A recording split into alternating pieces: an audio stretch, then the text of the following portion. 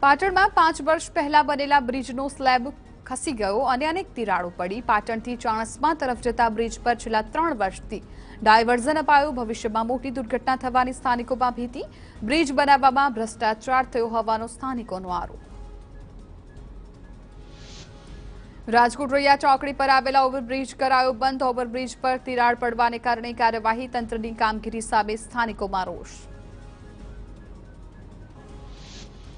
રાજકોટમાં ઓવરબ્રિજ પર ગાબડું પડવા અંગે મહાનગરપાલિકાની સ્ટેન્ડિંગ કમિટીના ચેરમેને જવાબ આપ્યો કહ્યું કે પુલના સાંધામાં વૃક્ષ ઉગી નીકળતા પોપડું પડ્યું હોવાનું પ્રાથમિક અનુમાન એન્જિનિયરોને સોંપી તપાસ બ્રિજમાં નથી કોઈ તકલીફ અમદાવાદનો સીટીએમ ડબલ ડેકર બ્રિજ બન્યો સુસાઇડ પોઈન્ટ છેલ્લા એક વર્ષમાં બ્રિજ પરથી છલાંગની નવ જેટલી ઘટના બની જેમાંથી ચાર લોકોના મોત થયા જ્યારે કે છેલ્લા એક મહિનામાં ચાર બનાવ બન્યા જેમાં મહિલા મૃત્યુ પામી બ્રિજ ઉપરથી છલાંગ લગાવવાની ઘટના વધતા સીટીએમ વિસ્તારના લોકોમાં રોષ વ્યાપ્યો છે. સ્થાનિકોએ તંત્ર સામે નારાજગી વ્યક્ત કરી. અડધા બ્રિજમાં જારી લગાવવાની કામગીરી બાકી રાખી હોવાનો કર્યો આરોપ. લાઇટ પોટ અને જારી વચ્ચે જગ્યા રાખતા લોકો કૂદકો મારે છે. આ સમસ્યાનો કાયમી ઉકેલ લાવવા માંગ કરી.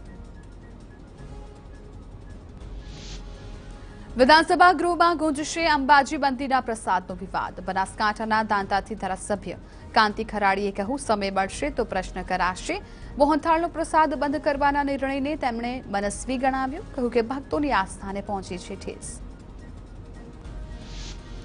અંબાજી મંદિરમાં મોહનથાળનો પ્રસાદ બંધ કરવા મુદ્દે કોંગ્રેસના પ્રવક્તા હેમાંક રાવલે ઉગ્ર આંદોલનની ચીમકી આપી ચીકીનું વેચાણ વધારવા માટે મોહનથાળનો પ્રસાદ બંધ કરવાનો નિર્ણય લેવાનો આક્ષેપ પ્રસાદ બંધ કરાતા બસોથી વધુ મહિલાની રોજગારી જતી રહેવાનો આરોપ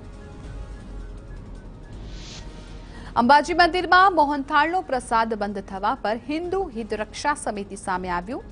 મંદિર પ્રશાસને આપ્યું અડતાલીસ કલાકનું અલ્ટિમેટમ મોહનથાળનો પ્રસાદ ફરી શરૂ કરવાની માંગ મંદિર દેવસ્થાન ટ્રસ્ટના નિર્ણયથી માય ભક્તોમાં રોષ મોહનથાળનો પ્રસાદ શરૂ નહીં થાય તો આંદોલનની ચીમકી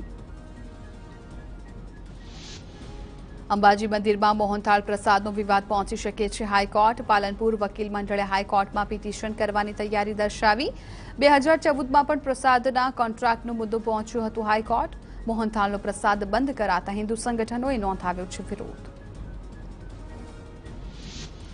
અંબાજી મંદિરના પ્રસાદ વિવાદ પર ભાજપ નેતાનું ટ્વીટ ભાજપ પ્રમુખ યજ્ઞેશ દવે વ્યક્ત કરી લાગણી કહું અંબાજી મંદિરમાં મોહનથાળનો પ્રસાદ ચાલુ રાખવો જોઈએ માતાજીના પ્રસાદ તરીકે ચીકીનો પ્રયોગ ન કરવો જોઈએ